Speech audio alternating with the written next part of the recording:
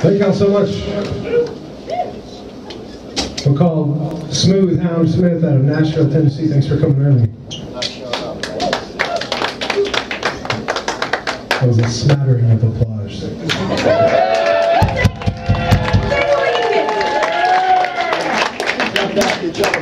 Well, I'm not singing too much there, so somewhere in the middle. He's never happy.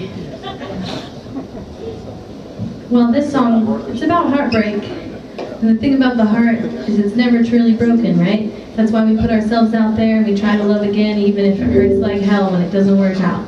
So, this song is for anybody that's struggling right now.